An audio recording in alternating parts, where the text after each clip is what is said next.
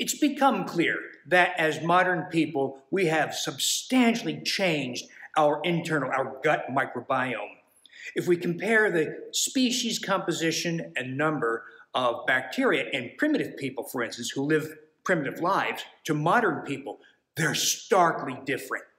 They have species that we don't have, we have species that they don't have, and it's almost unrecognizably different. Does that mean we should mimic their microbiome? Well, that's not clear, but uh, I believe we're going to have a lot of important lessons emerging from those experiences. Maybe selected species should be restored because we are losing many species. Even in the last 60 years, the microbiome has changed. Our Lactobacillus reuteri yogurt that restores Lactobacillus reuteri is an example of an organism, a bacterial organism that we've lost only in the past 60 years or so with fairly extravagant effects. I think there's going to be more lessons like that. But it's clear that the modern microbiome is, is, is essentially a disaster. And we're seeing evidence of that in such phenomena as colon cancer appearing in people in their 20s and 30s. Colon cancer is traditionally thought of, thought of, as a disease of people who are in their 70s. Now it's showing up in people in their 20s and 30s. And we know that a lot of colon cancer is caused by massive disruptions of the microbiome, the gut microbiome. We're seeing people show up with spontaneous Clostridium difficile infections, enterocolitis.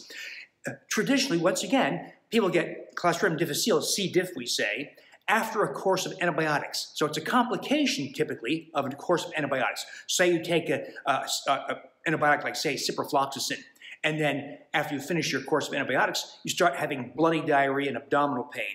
And that can be C. diff enterocolitis. And if you don't treat it with several antibiotics, you can die from it. And it's very difficult to eradicate now. That organism is becoming more and more resistant to antibiotics. That's why there's talk of fecal transplants that is taking the microbiome of another person, presumably healthier than you at least, and transferring it to you, and it gets rid of the C. diff in most cases. So once again, an example of the altered microbiome of modern people.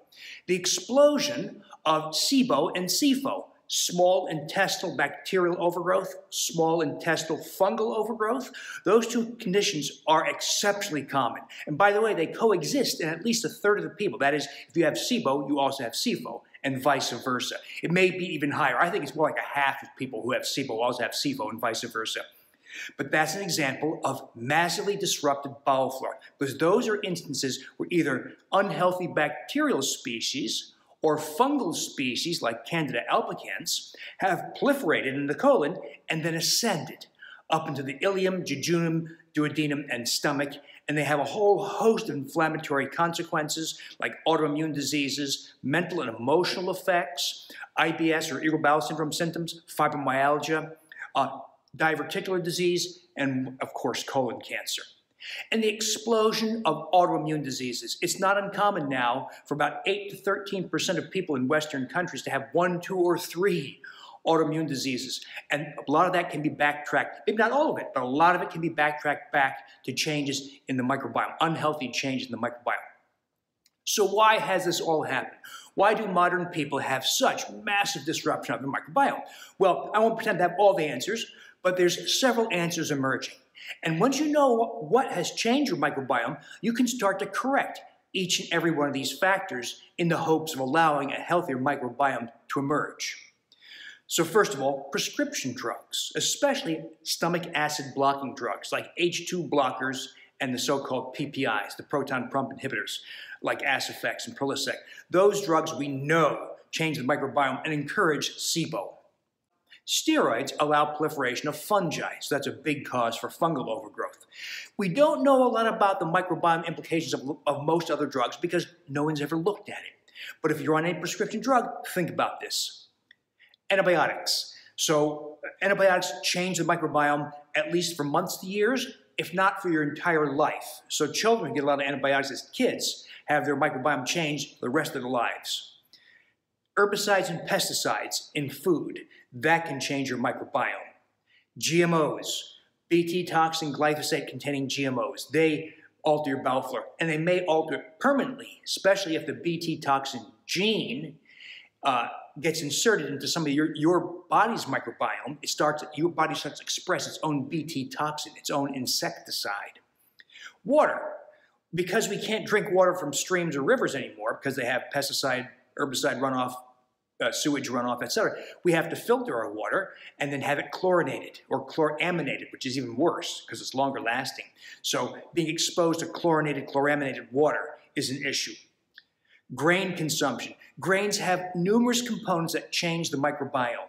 The amylopectin A carbohydrate, essentially a sugar, is like sugar in that it encourages fungal overgrowth, it encourages growth of unhealthy species. Gliadin, highly inflammatory. Gliadin-derived peptides, highly inflammatory. Gliadin-derived opioid peptides. You know how you take opioids for pain and it gives you constipation?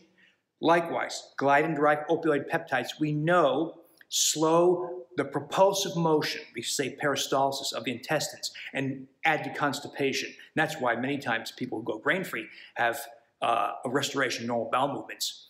Wheat germ agglutinin, yet another very potent bowel toxin that blocks the action of the hormone cholecystokinin that allows your pancreas and gallbladder to function. When cholecystokinin is in the neighborhood, you can't have normal digestion. That changes bowel flora.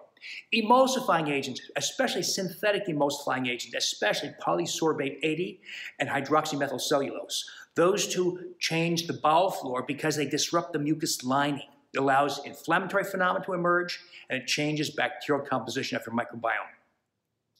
So that's a, a list of some of the most offensive factors in modern life that change your microbiome. Well, how do you remedy all this? Well, if you know all those factors, you can address each and every one. Prescription drugs, try to get off them. How do you do that? Well, follow my program, Wheat Belly Total Health Program, Undoctored, uh, Wild Naked Unwashed. Those are programs that help you get off prescription medications. Uh, minimize your exposure to antibiotics. If you're being given an antibiotic, make sure there's a very good reason for it. If you have bad pneumonia or pyelonephritis, uh, you have taken an antibiotic. But if you have a viral infection and you're being given an antibiotic just to do something, the doctor just wants to do something in case it converts to, that's a, uh, a situation where you want to ask tough questions and maybe not even take it.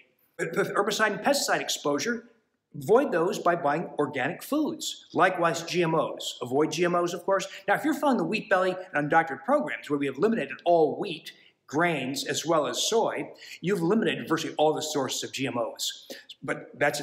So avoid GMOs, choose organic. Filter your water, either reverse osmosis or a charcoal filter or one of those pitcher filters. Do something to remove all the contamination, contaminants in water. Of course, be grain-free, completely grain-free, and avoid all those, that myriad uh, list of components in grains that disrupt bowel flow. And of course, avoid sugars. So there you have it. The basic efforts to start the process of reordering, rebuilding a healthy microbiome.